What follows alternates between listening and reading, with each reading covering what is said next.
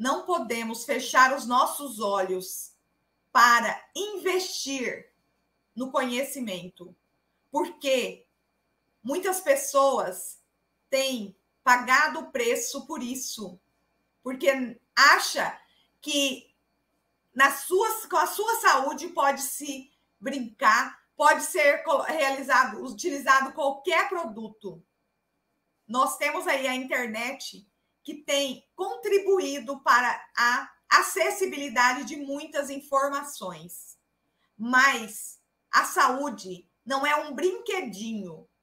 Portanto, às vezes, um paciente que quer buscar a cura a todo preço, ele prefere usar a internet para tratar a sua saúde, às vezes até o câncer, do que buscar um tratamento um tratamento individualizado e integrativo, porque ele não quer pagar 100 reais.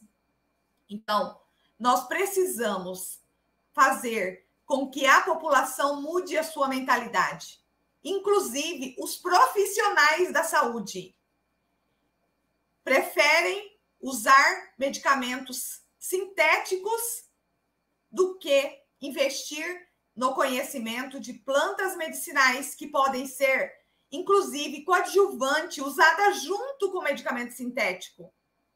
Porque preferem preferem o pagar o preço do desconhecimento, que é muito mais caro do que o preço do conhecimento. Então, se você quer aprender utilizar a planta, a planta com segurança e eficácia, venha para o Instituto ISA.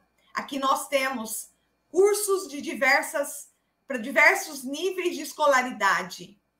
Estamos aí também com a força-tarefa formando profissionais para atuar prescrevendo apenas plantas medicinais.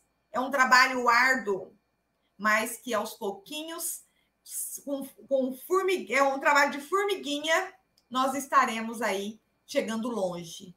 Hoje eu compilei os dados e eu observei que nós já estamos em seis países.